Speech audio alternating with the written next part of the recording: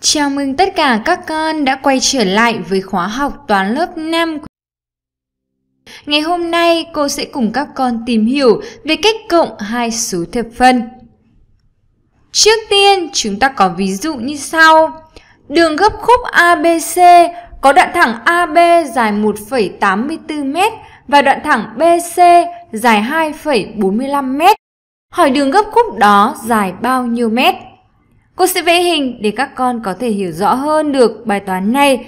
Đây là đường gấp khúc ABC với độ dài AB và BC đã cho trước. Chúng đều là các số đo độ dài viết dưới dạng số thập phân. Bây giờ chúng ta cần tính xem đường gấp khúc ABC này có độ dài là bao nhiêu mét.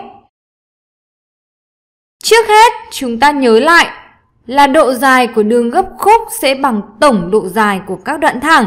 Như vậy, để tìm được đường gấp khúc ABC dài bao nhiêu mét, chúng ta sẽ phải thực hiện phép tính gì? Chính xác, chúng ta sẽ phải thực hiện phép cộng là 1,84 cộng với 2,45 thì bằng bao nhiêu mét? Đây là phép cộng hai số thập phân. Chúng ta chưa biết cách làm Vậy thì bước đầu tiên các con sẽ cần chuyển đổi số đo 1,84m và 2,45m về đơn vị cm để chúng ta biến phép cộng hai số thập phân này về thành phép cộng hai số tự nhiên. Cụ thể cô có 1,84m thì bằng 184cm, 2,45m thì bằng 245cm. Như vậy, việc cộng hai số thập phân này sẽ tương ứng với việc cộng hai số tự nhiên với đơn vị là cm. Cô lấy 184 cộng với 245 thì kết quả là 429cm. Chúng ta đổi 429cm ra thành đơn vị mét là 4,29. Như vậy, cô sẽ có 1,84 cộng với 2,45 sẽ bằng 4,29 mét. Vậy thì bây giờ chúng ta sẽ thực hiện phép cộng hai số thập phân như thế nào? Với hai số thập phân, chúng ta sẽ đặt tính rồi tính như sau. Ở đây cô viết số hạng thứ nhất, viết số hạng thứ hai, chú ý rằng hai dấu phẩy phải thẳng cột với nhau. Các chữ số ở cùng một hàng sẽ phải đặt thẳng cột với nhau. Sau đó cô viết dấu cộng và dấu gạch ngang, rồi thực hiện phép cộng lần lượt từ phải qua trái như số tự nhiên. 4 cộng 5 bằng 9, viết 9.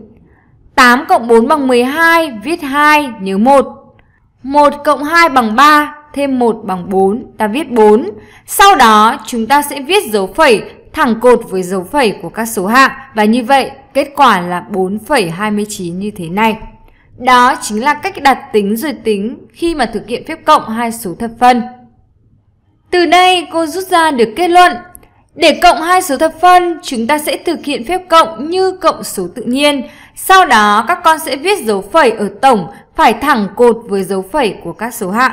Các con lưu ý là các dấu phẩy này phải thẳng cột với nhau. Ở đây chúng ta thấy rằng hai số hạng này có số chữ số ở phần thập phân bằng nhau. Vậy đối với các số hạng mà số chữ số ở phần thập phân khác nhau thì chúng ta sẽ đặt tính rồi tính như thế nào? Các con cùng chuyển qua ví dụ thứ hai. Thực hiện phép cộng 15,9 cộng với 8,75. Ở đây chúng ta thấy ngay hai số hạng này có số chữ số ở phần thập phân khác nhau. Vậy chúng ta sẽ đặt tính như thế nào? Cô nhắc lại một điều các con cần lưu ý là chúng ta sẽ phải đặt dấu phẩy ở các số hạng thẳng cột với nhau. Thế thì ở đây chúng ta sẽ đặt tính rồi tính như sau. Cô viết số hạng đầu tiên là 15,9, sau đó viết 8,75. Chú ý rằng dấu phẩy phải thẳng cột với nhau hàng đơn vị thẳng cột với nhau, hàng phần 10 thẳng cột với nhau, vân vân. Sau đó cô sẽ thực hiện phép cộng như là cộng số tự nhiên. Các con lưu ý là đối với số 15,9 chúng ta có thể coi là 15,90. Vậy thì chúng ta sẽ viết thêm số 0 ở đây rồi thực hiện phép cộng như cộng số tự nhiên. 0 cộng 5 bằng 5 viết 5. 9 cộng 7 bằng 16 viết 6 nhớ 1. 5 cộng 8 bằng 13, thêm 1 bằng 14, viết 4 nhớ 1. 1 thêm 1 bằng 2, viết 2. Sau đó chúng ta sẽ viết dấu phẩy thẳng cột với dấu phẩy của các số hạng và như vậy kết quả của phép tính này là 24,65. Như vậy cô cũng sẽ có kết luận đối với việc thực hiện phép cộng các số thập phân mà có số chữ số ở phần thập phân khác nhau. Chúng ta cũng sẽ thực hiện phép cộng như cộng số tự nhiên và sau đó viết dấu phẩy ở tổng thẳng cột với dấu phẩy của các số hạng. Để biến số các chữ số ở phần thập phân bằng nhau thì chúng ta có thể thêm các chữ số 0 ở phía bên phải phần thập phân của số thập phân. Các con lưu ý thao tác đó. Bây giờ cô nhắc lại kết luận tổng quát về việc thực hiện phép cộng hai số thập phân như sau. Muốn cộng hai số thập phân ta sẽ làm như sau.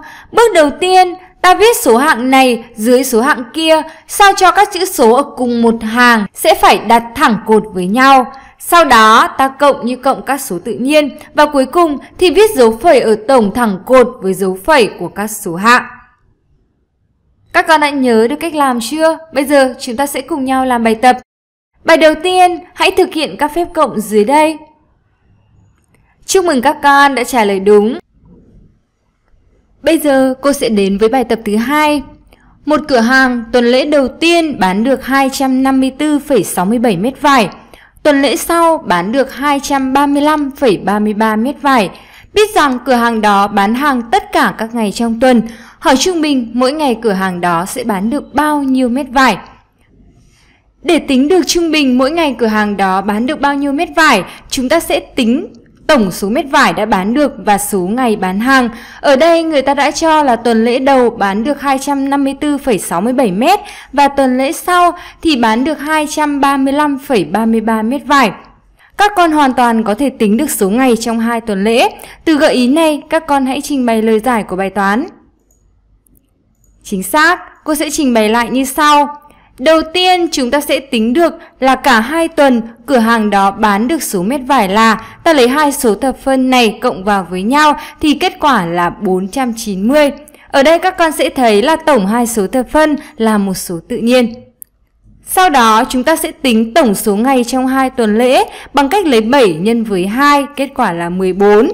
Sau đó ta sẽ tính được trung bình mỗi ngày cửa hàng đó bán được số mét vải bằng cách lấy tổng số mét vải chia cho số ngày, nghĩa là lấy 490 chia cho 14, kết quả là 35 và như vậy chúng ta có đáp số của bài toán này là 35 mét vải. Như vậy, ở bài giảng ngày hôm nay, cô đã cùng các con tìm hiểu về cách thực hiện phép cộng hai số thập phân. Để rèn luyện thêm kỹ năng, các con hãy luyện tập trên trang web olm.vn. Cảm ơn các con đã lắng nghe bài giảng. Hẹn gặp lại trong các bài giảng tiếp theo.